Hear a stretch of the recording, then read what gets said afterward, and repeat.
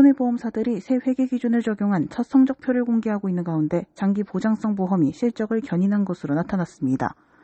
12일 삼성화재와 현대해상 등 손보업계 상위권 대형사들은 올해 1분기 실적을 발표했습니다.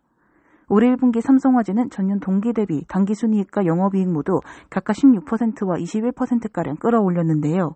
특히 장기보험의 보험 손익을 38% 전년 동기 대비 늘리고 보장성 보험 월 평균 보험료도 8%가량 증가한 것이 새 회계 기준의 주요 수익성 지표인 CSM을 늘리는 데 주요했습니다. 현대해상의 경우 당기순이익과 매출액은 전년 동기 대비 각각 3.5%, 9.5% 감소한 다소 아쉬운 성적표를 받아들었습니다. 그러나 장기보험과 보장성 보험 신계약이 증가한 영향으로 CSM은 전년 말 대비 860억 원 늘었습니다. 손해보험사들은 지난해 말부터 CSM이 높은 장기 보장성 보험 판매에 집중해 왔습니다. 1분기 실적에서도 장기 보장성 보험의 수익성이 나타나면서 한동안 손보업계는 장기 보장성 보험 판매에 더욱 열을 올릴 것으로 전망됩니다. 뉴스토마토 허지연입니다.